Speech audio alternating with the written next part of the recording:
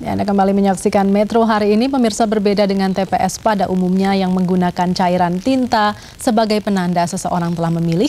Salah satu TPS di Cirebon, Jawa Barat justru menggunakan cairan dari kunyit sebagai pengganti tinta bagi para pemilih yang telah mencontreng. Kondisi ini terjadi di TPS 17 Kelurahan Arga Sunya, Kecamatan Harja Mukti, Kota Cirebon. Meski pihak panitia KPPS menyediakan tinta biasa, sebagian besar warga memilih mencelupkan jarinya di tinta dari cairan kunyit.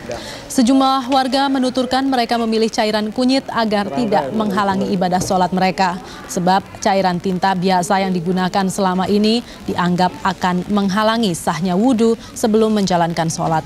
Kondisi ini dipahami KPPS karena sebagian besar warga yang berada di sekitar TPS ini merupakan para santri rasanya kurang ini ya cuma kita juga menyediakannya juga nggak apa nggak semua pakai itu gitu yang nggak mau aja gitu. Tapi itu salah satu untuk menarik mereka